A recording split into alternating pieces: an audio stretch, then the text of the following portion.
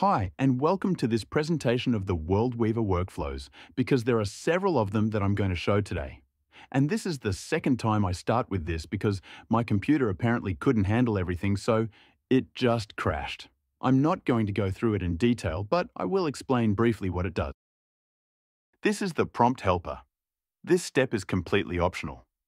If you feel that you have the ideas on how to fill out this yourself, that's fine, you can do that. If not, you can put an input image here, and you get an output over here. It should be noted that the image you upload here that creates the prompt will not create exactly the same image when the prompt is used later. It will just help you structure something that is similar to this image. So it's not a photocopier.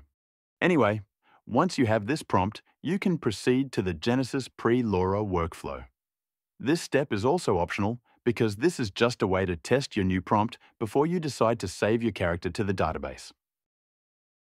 I created this before my computer crashed, so I'm not going to do it again. But this is the result from the prompt that we got here in the prompt helper. I feel that I'm okay with this. This is fine. In the next step, we move to the character database builder. We copy the whole prompt and paste it here. I tend to only keep the basic hair, such as colour, and add placeholders for the hairstyle, accessories, and also for the clothing. We also have to name our character, and I've named this one Linda.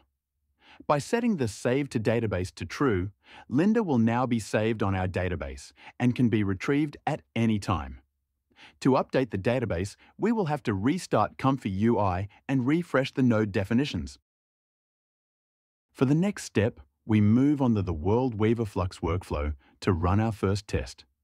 With Comfy UI restarted and the node definitions refreshed, Linda will now show up in the drop-down menu in the Character Select node. In the Character Select node, we are giving Linda a yellow sundress and a messy bun hairstyle. We will also decide the shot type, action and place that the final image should include. As shot type, I've chosen medium shot at shoulder height and her action is sitting alone and reading a book.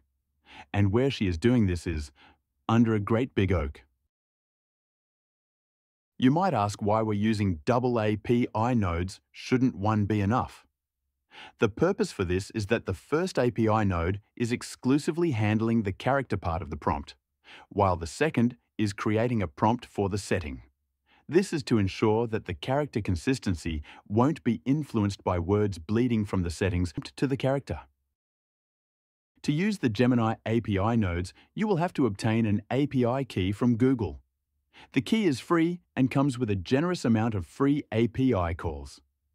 While editing this video, I will speed up some segments so we're not just sitting here in silence watching the progress bar together. Now, in just a moment, we should see Linda. There she is. Hello, Linda. She is sitting under an oak reading a book. And yeah, I think it's the same person pretty much. She has a different hairstyle that we prompted for, and she has a bit of the flux chin that comes with using the flux model. The style is a bit different from the Genesis workflow, and that's because the images were made using different models that are trained in different ways. So it will not look exactly the same thing from one model to another but using the same model and change the scene and clothes as the only variants, you will retain the character consistency between images, regardless of what settings and clothings you choose. If you liked this video, give it a thumbs up and subscribe to the channel. If you want more videos like this, comment and let me know.